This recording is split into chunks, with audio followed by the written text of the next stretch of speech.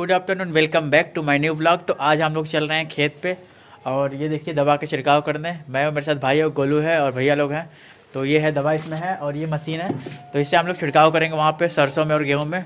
वहाँ पे कुछ कीड़े वीड़े दवा कुछ लग गए हैं। तो इसको शायद माहो बोलते हैं। तो चलिए चलते हैं.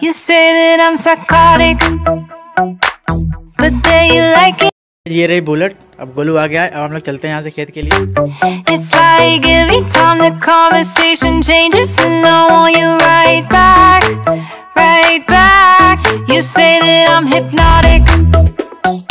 फाइनली तो हम पहुँच गए हैं खेत पे और ये देखिए दवा यहाँ पे रेडी हो गया है। सब कुछ दवा है अब इसको लेते हैं और चलते हैं छिड़कने। You know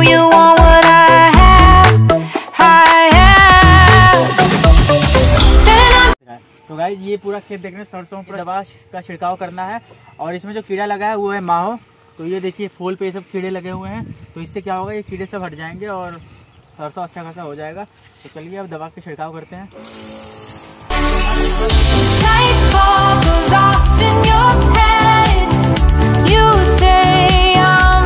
मैं थोड़ा आज सोच रहा हूँ कुछ सिनेमैटिक शॉट लेने की ट्राई करता हूँ।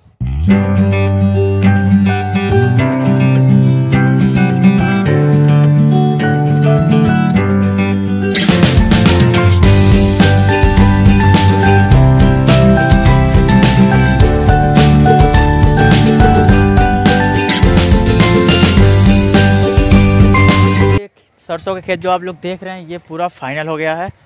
और अब चलते हैं मशीन के पास वहाँ पे वहाँ पे खेत है सरसों का तो वहाँ पे दवा छिड़केंगे इसको। तो अब सारा सामान उठा के चलते हैं वहाँ पे। तो गए पहुँच गए मशीन के पास। अभी क्या हुआ कि वहाँ मैं दवा छिट रहा था तो आ, मैंने चश्मा वश्मा तो लगाया नहीं था तो मेरे आँख में चला गया दवा। हवा था बहुत तेज़ और मैंने मोटर चालू किया तो जिससे मेरी आँखें देखिए ये आँखें सूजन हो गया है यहाँ पर फूल गया है। तो अब चलेंगे घर पे दवा डलाएँगे। अब घर के सामने डॉक्टर रहते हैं आग के। तो और ये देख रहे हैं, मशीन सामने पहुँच गए हम लोग। अभी इस खेत में भैया दवाई छिड़कने जा रहे हैं। इसके बाद एक और सरसों का खेत बचेगा, वहाँ पर छिड़केंगे, उसके बाद चलेंगे घर।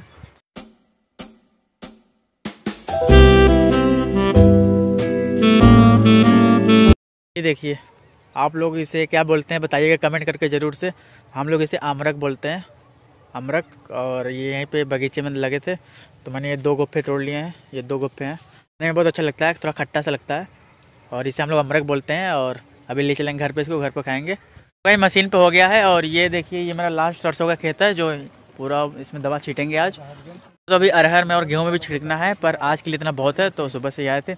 तो सरसों में उधर हो गया इस सरसों को पूरा छीट लेंगे उसका चलेंगे यहाँ पे देखिए यहाँ पे इसमें दवा दवा भरा जा रहा है और पानी पानी दवा इसमें डाला जा रहा है। एक किक्का विस्सा है। हमको क्या पता क्या विषय है हम मतलब दस विस्सा एक बीघा? एक बीघा। हम हमको नहीं पता एक बीघा कितना है बस हाँ इतना यहाँ से वहाँ तक है बस इतना पता है।